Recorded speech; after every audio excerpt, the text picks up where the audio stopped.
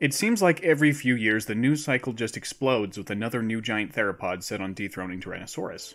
The 90s were full of giant Carcharodontosaurid hype, and the early 2000s had Spinosaurus as their sweetheart.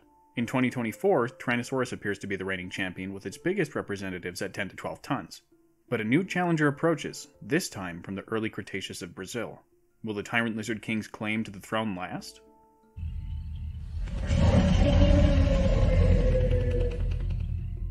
Bandeira et al. 2024 describes a group of Brazilian dinosaur specimens collected 160 years ago and held at the Natural History Museum of London. The remains were all fragmentary and represent ornithopods, theropods, and sauropods, indicating a diverse early Cretaceous environment in northeastern Brazil. The study states that these bones represent the first dinosaur bones collected in South America, hailing all the way back from 1860. Whether or not there turns out to be a giant theropod, this is historically an amazing find. The huge clickbaity fossil in question is known as NHMPV R.2129b. Quite a mouthful, so we'll call it Gomez for short. Pablo, if you're watching this, you're welcome. It's described as an isolated partial middle caudal centrum with putative Carcharodontosaurid affinities. Let's unpack that before we go into measurements. It's a part of a single tail vertebra. It's not even a complete centrum.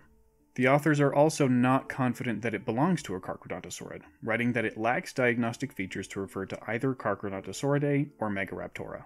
However, the centrum lacks the pneumatization associated typical of the latter, suggesting a Carcharodontosaurian affinity. So it's fragmentary, it's one bone, and they're not even sure of what it is.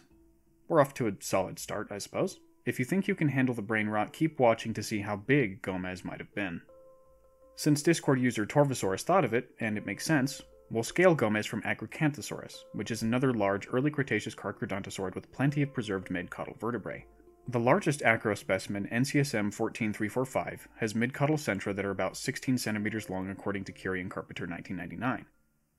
Gomez's isolated mid-caudal centrum is heavily damaged, and the only measurement complete enough to directly compare is the length, which is a whopping 23.36 centimeters.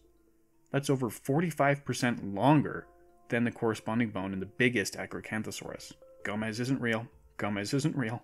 If we assume isometry from Acrocanthosaurus, scaling up the vert yields a monstrous 16.8 meter animal.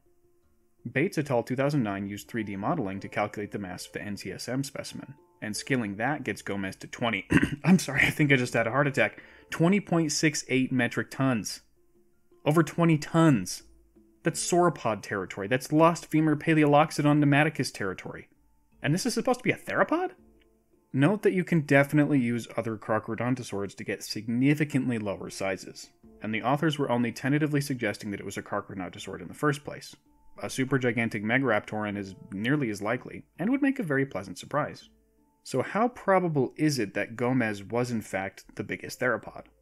The honest answer is that we don't have anywhere near enough information to get a reliable size estimation.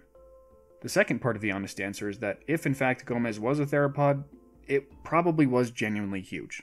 What ballpark of huge we can't pretend to know. It's one partial bone for goodness sake, and we don't even know what type of theropod it was.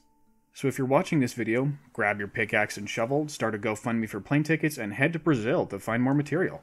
If somebody's going to replace T-Rex as the new king of the megatheropods, it sure as heck isn't going to be like this.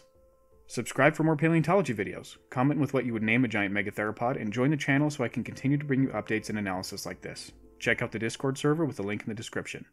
I'm the Vividen, and I'll ramble about crappy fragmentary giants next time.